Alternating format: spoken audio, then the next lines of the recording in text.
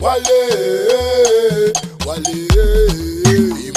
Norwegian ambassador to Ghana, Gunnar Holmes, has cautioned team members of the Great Padua Football Academy to pay equal attention to both soccer and their education. According to him, he first established contact with Great Padua Academy through a colleague at the embassy and has met talented young players when he attended one of their games. He was speaking at the unveiling ceremony of Great Padua Academy held at Jamestown, Manchagbona Park here in Accra. Dignitaries like Fred Papo, Philip Gutin Amamu, Ambassador of Norway to Ghana Gunnar Holmes, titles Esel Kwame Odui, Ejako, all attended the grand ceremony. The guest speaker was Osimanu Isaka. Ambassador Gunnar Holmes unveiled a picture of the academy dressing room, uniform, and astroturf. I, I got to know Great Padua because uh, he come to Ghana quite regularly. He established contact with the uh, football academy through a colleague of mine at the embassy, and uh, that's how we got to uh, got to know the club, Great Padua, and we were invited to uh, one of the uh, matches between the teams.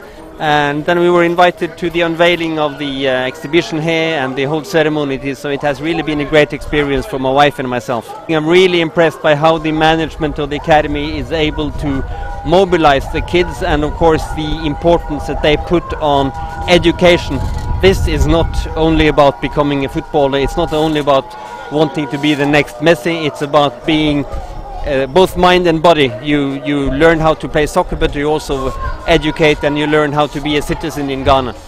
Speaking to TV Africa Sports, a member of the board of directors of Padua, Fred Papo, said the academy has its doors open to children with a football passion, not only in Accra, but also outside the capital, even though there is present concentration on the children from Jamestown and its surrounding environs.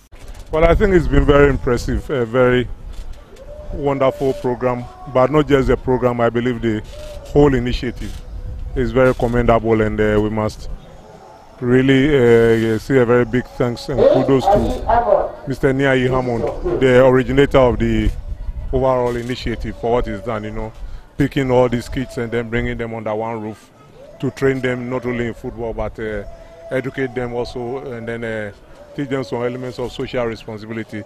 It's quite good. It's a wonderful initiative, and I believe it must be commended. In the first place, uh, the originator of the idea, is not a football agent. So that should tell you where it's coming from. It started from the scratch with these young boys, and then they kept training them at the fire service training grounds until they moved to uh, the idea, the motivation is different. But ultimately, when the boys come of age and they become marketable, by that time the board would have put a lot of things together will make sure the right regulations are passed. And then definitely at the end of the day, this body will be running under the Ghana Football Association, where they are very strict. There's going to be very strict rules on academies and the rest to prevent the unfortunate situation where the children get exploited as they move outside to seek greener pastures. So definitely something we are going to look out for. The good thing is that quite a number of us on the board are people who are aware of the dangers or such risks. So won't sit back for won't sit by for that. It's, that would be most unfair.